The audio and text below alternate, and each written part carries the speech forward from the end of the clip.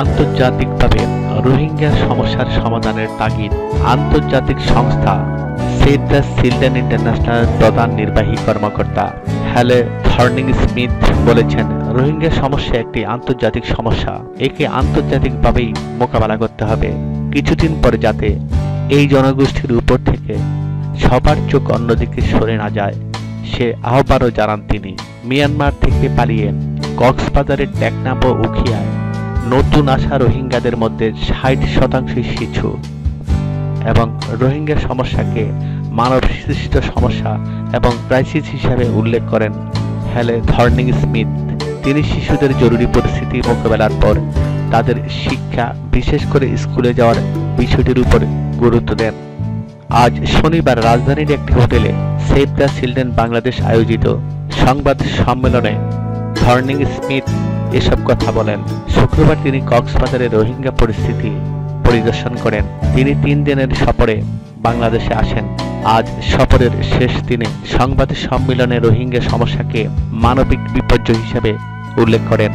তিনি বলেন, রোহিঙ্গা ক্যাম্পের সব জায়গায় শিশু, চরম অপুষ্টি ও নির্যাতনের শিকার তারা।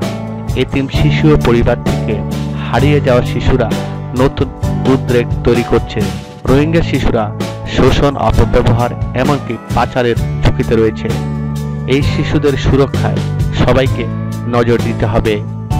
হ্যালের থর্নিং স্মিথ রোহিঙ্গা সমস্যা সৃষ্টিতে মিয়ানমার সরকারের সমালোচনা করার পাশাপাশি জরুরি পরিস্থিতিতে রোহিঙ্গাদের আশ্রয় দেওয়ায় বাংলাদেশ সরকারকে ধন্যবাদ জানান। একই সঙ্গে তিনি রোহিঙ্গা সমস্যা সমাধানে আন্তর্জাতিক সম্প্রদায়কে নিজ নিজ দায়িত্ব পালনের আহ্বান জানান।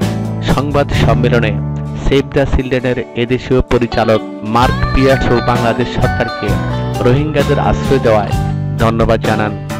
এক এক পরিবারে চার থেকে ছয়জন করে শিশুর সংখ্যা উল্লেখ করে কম করে হলেও দশ জনের কয়েকটি পরিবারকে আশ্রয় দেওয়ার পাশাপাশি তাদের খাদ্য, বাসস্থান সহ অন্যান্য মৌলিক চাহিদা পূরণ একটি বড় চ্যালেঞ্জ বলেও তিনি মন্তব্য করেন।